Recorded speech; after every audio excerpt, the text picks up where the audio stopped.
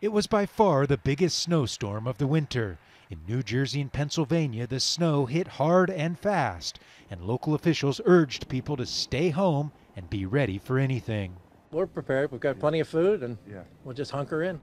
In Boston, the storm was being compared to a historic blizzard 44 years ago that left the city buried in 60 centimeters of snow.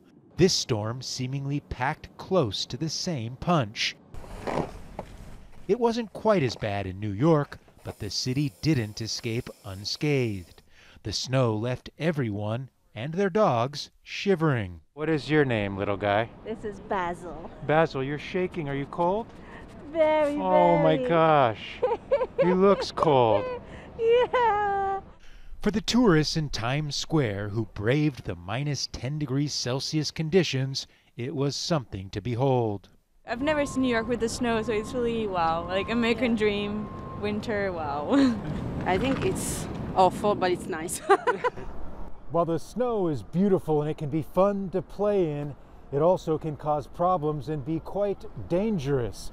This storm is being called a bomb cyclone, and it's affecting the entire northeast of the United States, where 70 million people live. At the coastal peninsula of Cape Cod near Boston, Twitter users posted this video showing how strong the wind and snow were blowing, close to upwards of 112 kilometers per hour. Storm surge was a concern in low lying areas all along the eastern seaboard. Once all the snow melts, it turns to water, and officials warned of localized flooding. Throughout the Northeast, there were at times blizzard conditions wreaking havoc on travel.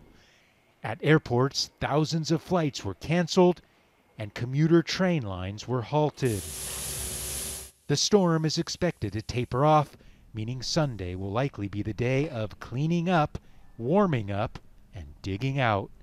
Gabriel Elizondo, Al Jazeera, New York.